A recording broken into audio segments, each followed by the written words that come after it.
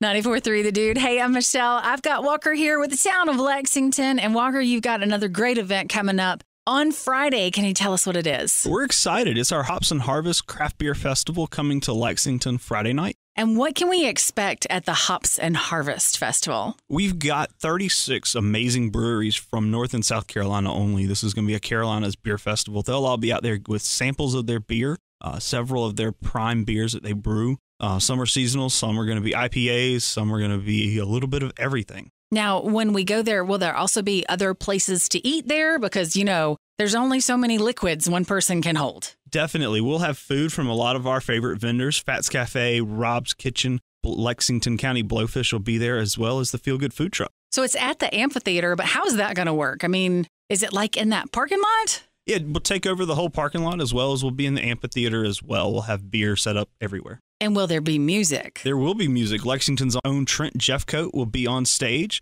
He'll start about 7 o'clock that night and carry us uh, through the night with music. So gates open at 6 o'clock. Gates open at 6. And if we wanted to get a ticket or find out more information, where do we need to go? You can check us out on Facebook at Icehouse Amphitheater or online at icehouseamphitheater.com. And it goes without saying, you have to be 21 or older to participate. 21 and up only inside of the event, yes. So if you can't find a babysitter, well, maybe you just need to wait till next year. Wait till next year, but find that babysitter and come on out. It's going to be so much fun. Lexington's Hops and Harvest Festival at the Ice House Amphitheater. Walker, can you give us that website again?